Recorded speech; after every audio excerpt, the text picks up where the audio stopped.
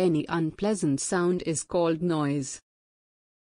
In the classroom, if all the students speak together, resultant sound produced becomes noise.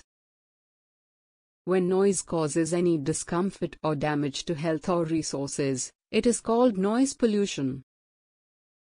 For example, if a student is trying to study but all the students around her are making noise, this noise becomes noise pollution for that student. Another example is when everyone is sleeping and suddenly a driver starts honking in the society. It is also a noise pollution as it caused discomfort to all the surrounding people. Noise pollution can be dangerous to our health. Let's see few effects of it. 1. Exposure to sudden high noise level can damage the eardrum. You should never surprise someone by shouting in ears directly.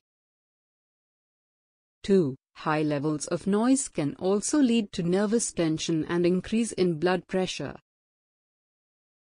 3. Noise also disturbs sleep, increases stress, and causes headache.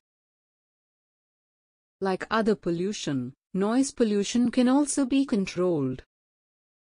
Let's see different practices which reduced it in our day-to-day -day life.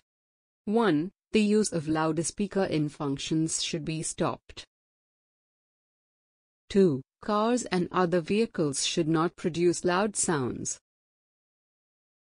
3. TV and musical systems should be listened at low volumes.